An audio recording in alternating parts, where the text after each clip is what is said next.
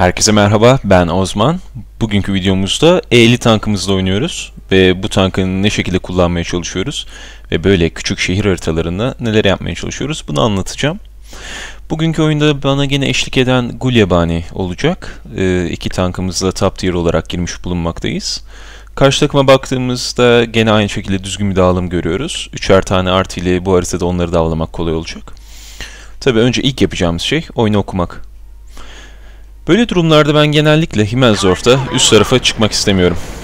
Üst tarafa çıkmak istememin ana sebeplerinden bir tanesi eğilini hafif ağır olması ve alt tarafta uzun kısımdan yani A1 hattından gittiğimde daha çok hasar verebilmem ve oyuna daha çok katkıda bulunabilmem.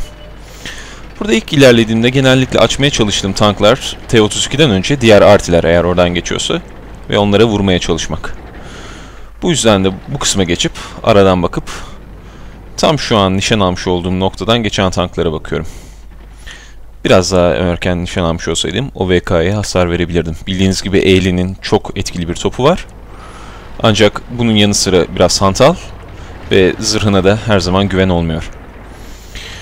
Evet, tam bu sırada o tankları gördükten sonra artık işim bitmiş. A1 hattına doğru ilerleyecekken birden duruyorum. Çünkü IS-3'ün hiçbir şekilde gazı kesmeden devam ettiğini görmekteyim ve arka tanklarına dolu olduğunu gördüm. Bakın şu an tam olarak 7 hattında 1, 2, 3, 4, 5 hatta 6, 7 tank olduğunu göreceksiniz. Böyle bir durumda benim artık uzundan gidip arkadan dolaşmaya çalışmam çok fazla vakit kaybettirecekti.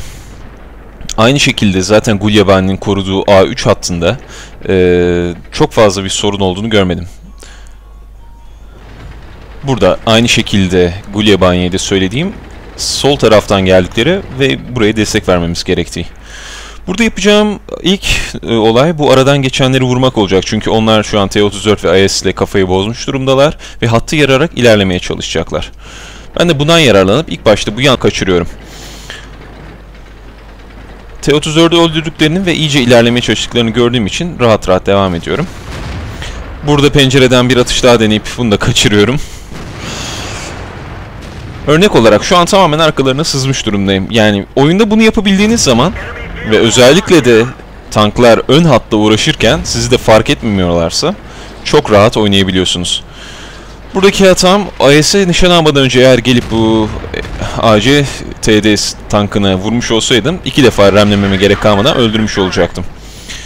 Yalnız şimdi fark ettiğim bir şey arkada artık artı olması olduğu ve VK tankını vurduktan sonra bu artıyı fark etmem. Bu yüzden arkaya bakıyorum. Ve bir anda 500 hasarı alıyorum. Allah'tan taretime denk geliyor. Daha fazla hasar da alabilirdim. Buradan kurtulup bir defa daha VK'ya vuruyorum. Arkamı kontrol ediyorum. Halen VK şu an anca dönerken bana bir kere daha vurup onu da öldürmüş oluyorum. Burada Hummel bana saldırmaya çalışacak ama dolum süremin tabii ki hızlı olduğunu bilmemekte. Hızlıca onu da yok ettikten sonra düz devam ediyorum. Şu an hattı temizlemiş durumdayız. Sol taraftan da ilerleyemediler. E, ee, Gulyaban de yan taraftan desteğe geldi. Oradaki te te tek kalan tankı da ablukaya aldılar. Bana da artık üstlerine girmeye çalışmak kalıyor ki burada yanda az önce bana, bana hasar veren Su 100 tankını da öldürdükten sonra yapacağım iş kepe girmek olacak.